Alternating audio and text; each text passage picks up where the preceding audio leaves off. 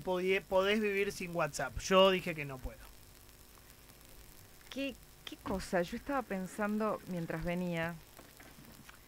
En realidad me tomé el trabajo de ver quiénes eran las dos personas que aparecen en el mensaje de Maduro cuando él elimina WhatsApp. Ah, eso que decías vos, Ariel. A ver el No, momento. no, no, que lo coja, Sí. que lo coja. Quiero ver el video. Hay un tal, eh, un Jorge Arreaza y un Ñáñez de apellido. eh, Ñáñez. Como ñañel. Ñáñez es el, el ministro de comunicación. Ajá. Mira. Está, o sea, está muy, es el primer, no, el primer contacto que aparece es Diosdado Cabello, que no tiene foto. Mira.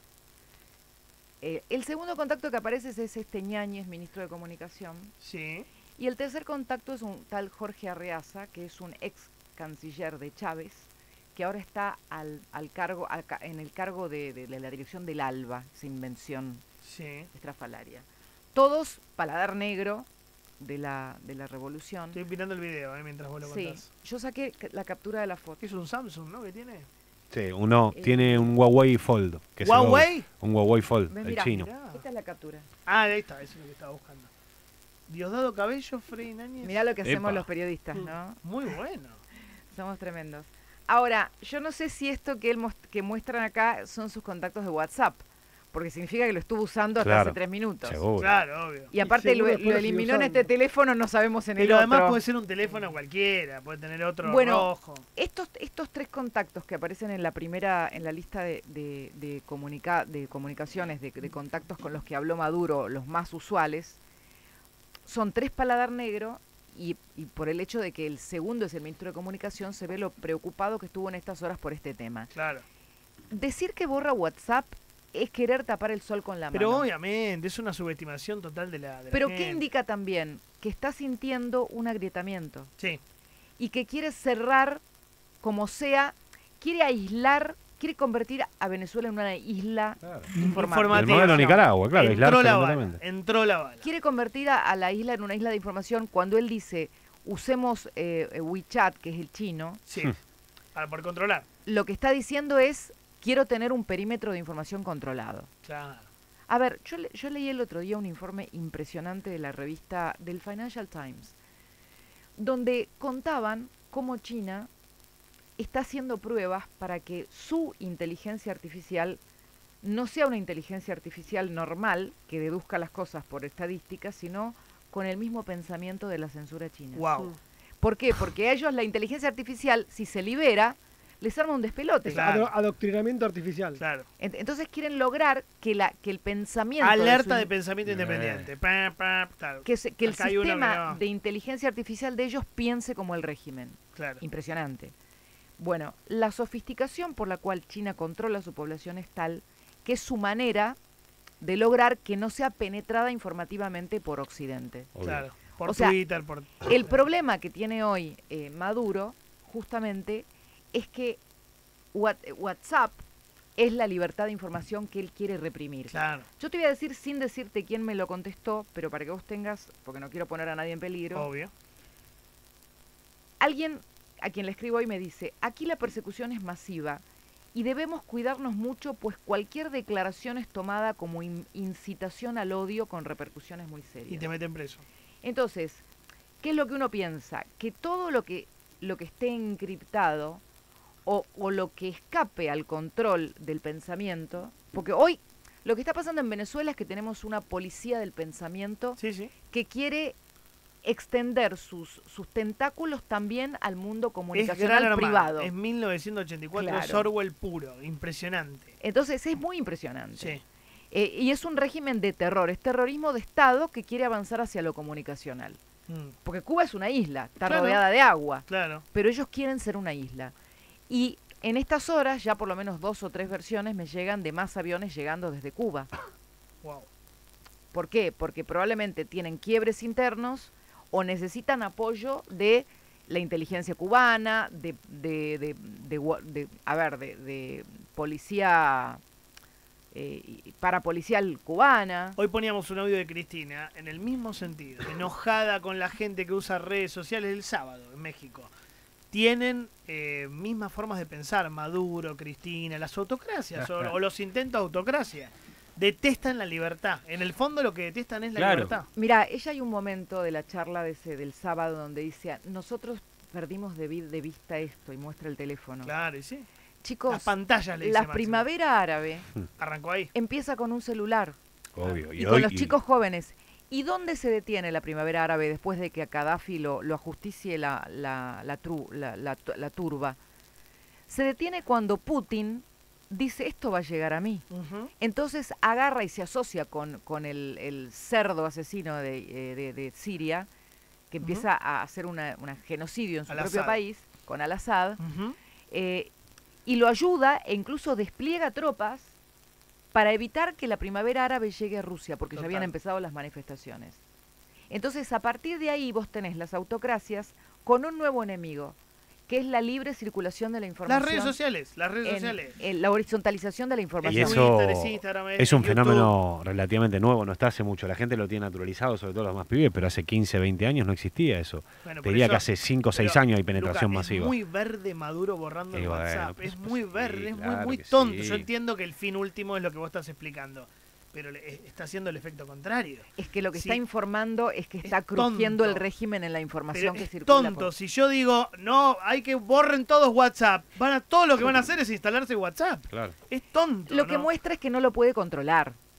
Estás- No lo puede controlar porque no, Pero- digamos, WhatsApp no se puede controlar. Además hay claro. otra Pero cosa, Lo prohibido que es, es- es todo lo contrario de lo que está buscando. Si vos prohibís algo, tenés ganas de consumirlo. Es exactamente al Claro. revés. La mejor publicidad que Claro, hecho. tonto. y aparte tonto. él lo que lo que lo que teme él es que la oposición se organiza por WhatsApp y que le llega a la gente que es todavía fiel a él la información Claro. que él no quiere que le llegue para que los para que los conviertan, para que los pasen del otro lado. Ah, bueno. O sea, para mí es un signo de debilidad. Absoluta, signo de debilidad total. Es un signo de debilidad, pero Mm. también viendo que esta gente es capaz de llegar a cualquier lado, no es pavada. No, no, no es pavada, pero te muestra que están haciendo cualquier cosa. Que ya no saben qué hacer para controlar a la gente. Mira, yo veía lo que decía en declaraciones este Arreaza, que es eh, en declaraciones anteriores a la elección, y Sí. decía, eh, si acá eh, existe el riesgo de que gane el- el- el- la oposición, que vuelve a llevar al poder a una burguesía relacionada con los Estados Unidos. Eh, eh, esto sería inaceptable. Ya lo decían ellos. Claro. Ellos ya decían que esto era inaceptable. Lo que pasa que... Bueno, Maduro dijo, si yo llego a perder va a haber un baño de sangre en las Exacto, calles, ¿no? Y no lo Pasó- decía en broma. Pasó exactamente eso. Perdió ¿Cumplió? y hubo un baño de sangre en las calles. No lo decía en broma. No, ¿qué iba a decir en broma? ¿Te das cuenta? Entonces, lo que tenemos es eh, que ellos no contaban con que su farsa iba a tener, eh, a ver, iba a tener un problema adicional, que es que la oposición se las había arreglado para, para tener las pruebas, para guardar las pruebas, Claro, y que los iban a dejar solos los otrora aliados. claro. Me parece que ahí está la trampa ahora. Pero eh, la situación en Venezuela en este momento para la gente es muy dura. Imagínate que sientas que te están hurgando hasta tus mensajes privados. Que corres peligro de que te acusen de incitación al odio. ¿Sabes lo que te hacen con incitación al odio? Te pueden dar una pena de 20 años de Te prisión. meten preso para toda la vida. Te llevan al olvidate, Por helicoide. terrorista, terrorista. Te llevan te al helicoide. torturan. Totalmente.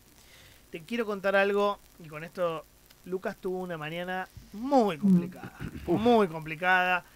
Eh, tan complicada tuvo la mañana que defendió a los chicos que llenaron de pintura la mansión de Messi. Futuro vegetal. Ah. Eh, no, muy difícil. No, no toleran un, un ser humano que no tenga pensamiento único. ¿no? pensamiento, no. alerta de pensamiento independiente. Ah, después a, a- a Eh, la si cristalita. esto fuera Venezuela, si esto fuera Venezuela, eh, Lucas ya estaría. Hay unos, unos No, ter- no, unos termos acá. que- No, no, no, la- terrible. eh, O defendió, no, Dani, que sí, una- defendió además a María Becerra que tiene problemitas con las redes Y- sociales. ¿Cómo no voy a A estos payasos eh, eh, Defendió ambientalistas, Hoy se puso en A contra Cami de Mayán, todo, de to- todo lo que decíamos. a la carancha que le quiere robar plata. Ahora no quieren que me inmole por el aire, pero bueno. em, Pero ¿cuál era, su, ar- cuál era tu argumento? No, ¿En el caso de María eh, Becerra? Es que él, él está parado en- como en una línea en- en generacional con un pie en un lado y un pie en el otro. es el centrismo soy un. berreta. Ah, no le Estoy en el medio entre ser un viejo meado y un Virgo. La como- retista, ¿eh? La- por eso, bueno, la reta. Así terminó la reta. ¿no? Perdió por goleada.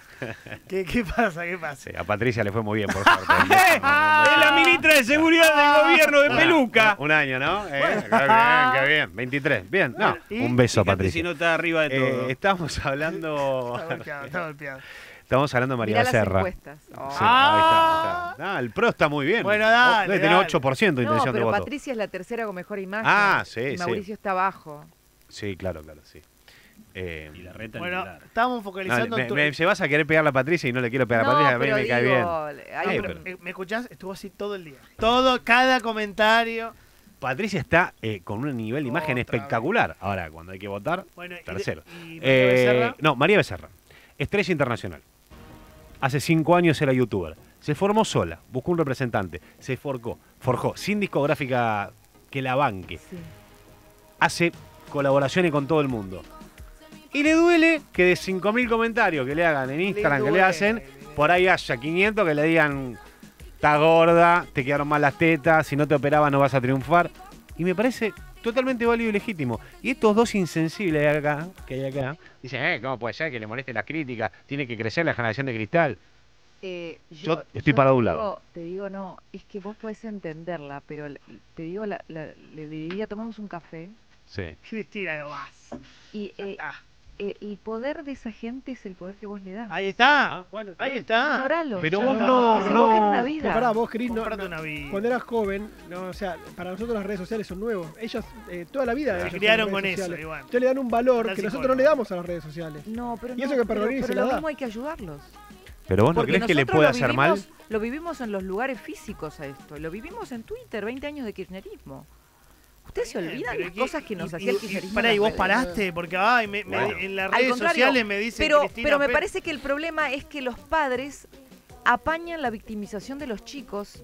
Eso puede ser. ¿Qué es esto que vos estás haciendo? Ay, tiene derecho. Está bien, tiene derecho, No, pero pero, ayudémosla, No, no. Sí. Ayudémosla a que no dependa de una sarta de inútiles y fracasados que le dicen un montón de Yo cosas y que no hicieron nada en su vida. Yo te entiendo y respeto lo que decís. Ahora también entiendo que ella le haga mal y Pero- que lo y que No, le, es le que afecte. Está bien que le haga mal, ¿Sabés pero lo tiene que que, yo, yo superarlo. le digo a mi Estuvo hija? toda la mañana. Cuando mi hija Sí, tiene un pero- problema, le digo, no le dé bola a esos boludos, vos sos una genia, ya está. Es fácil el Pero asunto. pará, ¿sabés No, lo que no, son 70.000 boludos el por mundo día que te no, ponen? pero a ver, el eh, mundo- gorda, a ver, te quedaron ¿y mal qué las te tetas, importa no si sabés cantar. ¿Y a, Lucas. y a quién le ganaron? Lucas, puede ser tres compañeritos de cuarto B que le digan a- al chiquito y al, pero esos tres compañeros para él son la multitud. Y te. Tenés Y razón en eso. que- es lo que decía Sí. Wanda Nara. Yo a mis hijos les enseño Claro. que siempre va a haber gente que te puede criticar, que vos tenés que hacer esto. Sí, bueno, porque pero- tenés que ayudarlo a Wanda ser Mirá cómo, se a Wanda. Bien Wanda Nara. Sí. Es como dice digo, Wanda yo digo que es un artista y se ríe. Ah, Es pero una si le dice- fighter eh, para mí, Una Wanda. fighter, claro. Fighter. Una gladiadora. Artista no. Convengamos que de la nada llegó a ser una de las empresarias más de- de la importantes nada no, parece que del la- mundo. No, de la Bueno, nada, no, con un video viral.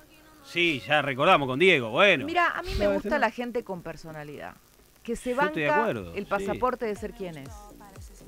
La banco a muerte. Lo que Pero está bien. Wanda. Chicos, cualquiera de nosotros, si no nos bancáramos el decir lo que pensamos, no estaríamos sentados Pero acá. claro, Sin duda. María en Becerra se la tiene que Argentina, bancar. bancarte decir lo que pensás es un montón. Ninguno de los que está acá es una estrella internacional. ¿eh? No, yo quiero plantearlo sobre la mesa. Bueno, cada uno El- se y, y ninguno de los que está acá Pero- tiene 23, 24 años Pero, y se hizo escuchame. multimillonario en dos María años. Becerra. Pero Bueno, escúchame, pero no, pero esto va a la escala de tu medida.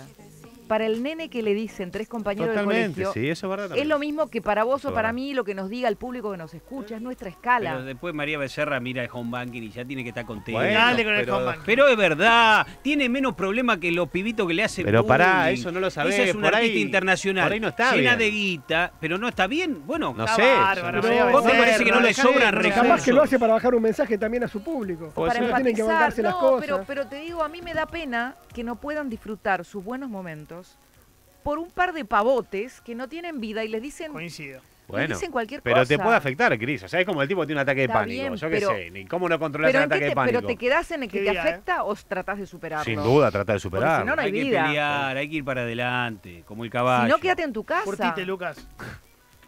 Es así. No sos Tim Becerra, entonces. No soy team que romantizo la, la debilidad. No soy team que romantizo la la victimización. una dama de hierro. Cristina. Gracias. Dama de hierro. Debería de estar, con el, hierro. La debería estar con el La ministro de Defensa. Rivadavia.